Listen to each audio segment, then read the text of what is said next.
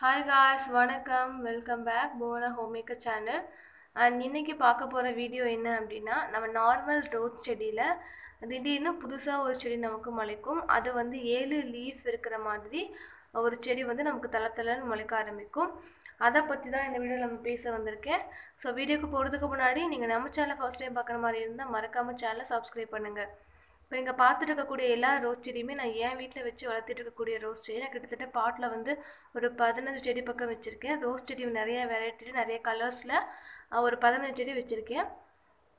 இந்த மாதிரி எனக்கு அடிக்கடி வந்து ரோஸ் செடியில் இந்த மாதிரி ஏழு லீஃப் இருக்கிற செடி வந்து எனக்கு தலைய ஆரம்பிக்கும். ஸோ இப்போ அதை பற்றி உங்ககிட்ட பேச வந்திருக்கேன். எனக்கு நார்மலாக இப்போ நீங்கள் பார்த்தீங்க இல்லையா ஒரு ஆரஞ்சு கலர் பூ. அந்த செடி தான் இது. ஒரு பாட்டில் நான் ரெண்டு செடி வச்சுருக்கேன். நார்மலாக செடி வந்து எந்த குறையுமே இல்லாமல் நல்லா தளைஞ்சிட்ருக்கு நல்லா பூ எடுக்கு நல்லா மொட்டு எடுக்கு எல்லாமே நல்லா தான் இருக்குது பட் அதில் வந்து இப்போ புதுசாக என்ன இருக்குன்னா கீழே வந்து ஏழு லீஃப் வச்ச மாதிரி ஒரு ஒரு கணு வந்து எனக்கு தளைஞ்சு வந்திருக்கு. இது வந்து நமக்கு நிறையா டைமிங்கில் இந்த ஒட்டு போட்ட செடி நம்ம வாங்குறோம் இல்லையா அதுலெல்லாம் மேக்ஸிமம் இந்த மாதிரி தளைஞ்சு வரும். நீங்கள் மண்ணிலேயே இந்த செடி வச்சுருந்தாலும் கூட ஒட்டு போட்ட செடியாக இருந்ததுன்னா டெஃபினட்டாக இந்த மாதிரி ஏழு லீஃப் இருக்கிற செடி வந்து உங்களுக்கு அந்த ஒட்டு போட்ட இடத்துல கண்டிப்பாக தழைஞ்சு வரும். இது வந்து என்ன ஆகும் அப்படின்னா எந்த பூவுமே இதுலேருந்து கொடுக்காது நமக்கு எந்த மொட்டுமே வைக்காது. பெருசாக தழைஞ்சு மட்டும்தான் போகுமே ஒழிஞ்சு நல்ல வந்து முள் இருக்கும். கொஞ்சம் நீள நீளமாக பச்சை கலரில் முள் வரும்.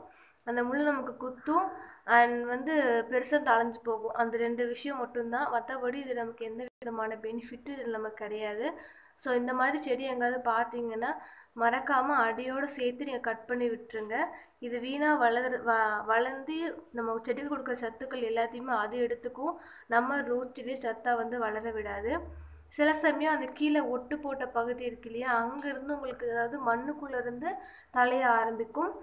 சில சமயம் அந்த கணுவுலேருந்து தலைய ஆரம்பிக்கும். எனக்கு போன டைம் வந்து வேறொரு செடியில் மண்ணுக்குள்ளேருந்து வந்துருந்துச்சு. இந்த டைம் வந்து இந்த செடியில் அந்த கட் பண்ணி விட்டுருக்கேன் பார்த்தீங்களா அந்த கணுவுலேருந்து வர ஆரம்பிக்குது.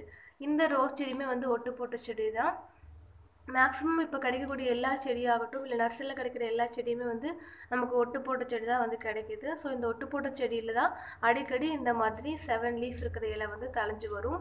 இது பார்க்குறதுக்கு எப்படி இருக்குன்னா நல்லா வந்து க்ரீன் கலரில் இருக்கும். நல்லா வந்து பெண்ட் ஆகும். நம்ம மற்ற ரோஸ் குச்சிங்கெல்லாம் வந்து பார்த்தா கொஞ்சம் ஸ்டிஃபாக நிற்கும் அப்படியே ஒரு குச்சி மாதிரி இருக்கும். பட் இது வந்து ரொம்ப அப்படியே வள வள கொல கொலாங்கிற மாதிரி இருக்கும். டச் பண்ணுறதுக்கே ரொம்ப சாஃப்டாக இருக்கும். நீங்கள் பெண்ட் பண்ணால் கூட நல்லா வந்து பெண்ட் ஆகும். அந்த மாதிரி இருக்கும். நம்ம நார்மல் ரோஸ் குச்சிக்கும் இதுக்கும் நிறையவே டிஃப்ரெண்ட் இருக்கும். அதே மாதிரி அது தளைஞ்சு வர அந்த கொழுந்து பகுதி பார்த்துட்டிங்கன்னா நல்லா வந்து க்ரீனிஷாக நிறைய அப்படியே குட்டி குட்டியாக கொழுந்து வச்சு சூப்பராக தளைஞ்சு வர மாதிரி இருக்கும். பார்க்க ரொம்ப அழகாக இருக்கும். அப்படியே புதுசாக ஒரு செடி வந்து நமக்கு வளர்ந்தா எப்படி இருக்குமோ அந்த மாதிரி இருக்கும். கட் பண்ணுறதுக்கு மனசே வராது. அந்த மாதிரி நல்லா அழகாக தளைஞ்சு இருக்கும் பட் இது வந்து நமக்கு வேஸ்ட்டு தான். ஸோ நீங்கள் எங்கே உங்கள் செடி செடிக்குள்ளே ரோஸ் செடிக்குள்ளே எங்கே பார்த்தீங்கனாலும் சரி மறக்காமல் அதை ஸ்டார்டிங் ஸ்டேஜ்லேயே ஃபுல்லாக வந்து கட் பண்ணி விட்டுருங்க. கவுண்ட் பண்ணி பாருங்கள் அதில் வந்து ஏழு லீஃப் இருக்கணும். ஏழு லீஃப் இருக்கணும். ப்ளஸ் வந்து நல்லா க்ரீன் கலரில் சாஃப்டாக இருக்கும் அந்த தண்டு எல்லாமே. சாஃப்டாக உங்களுக்கு வளர்ந்து வந்துச்சு அப்படின்னா நீங்கள் அதை கட் பண்ணி விட்டுருங்க. நான் உங்களுக்கு நார்மலான ஒரு ரோஸ் செடியோட கொழுந்து காட்டுறேன். அப்போ உங்களுக்கு நல்ல ஒரு டிஃப்ரென்சேஷன் தெரியும்.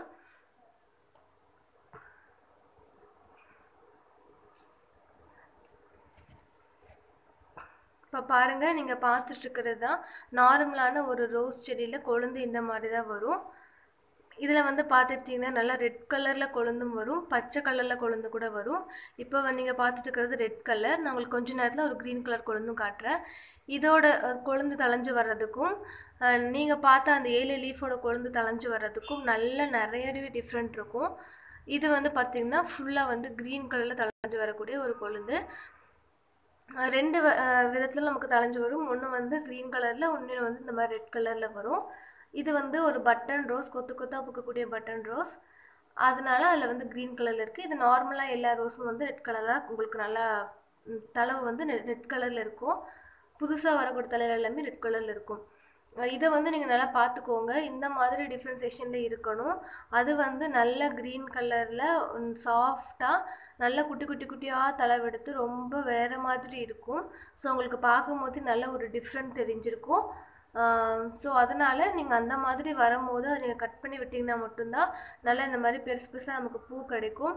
அதே மாதிரி ரோஸ் செடி வந்து நம்ம அப்பப்போ பார்த்து செக் பண்ணிகிட்டே வரணும். அதில் ஏதாவது புழு இருக்கா பூச்சி இருக்கா இந்த மாதிரி ஏழு லீஃப் இருக்க செடி இருக்கா என்ன இதுன்னு பார்த்துட்டே வந்தோம்னா தான் நம்ம ரோஸ் செடியை நல்ல முறையாக வளர்க்க முடியும். நல்லா வந்து பராமரிக்க முடியும். நிறைய நமக்கு பூவும் அதுலேருந்து கிடைக்கும்.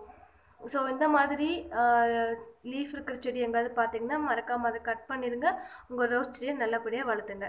இந்த வீடியோ எல்லாத்துக்கும் பிடிச்சிருந்ததுன்னா மறக்காம புவனா ஹோமேக்கர் சேனலுக்கு சப்ஸ்கிரைப் பண்ணுங்கள் see you soon in video video. Thank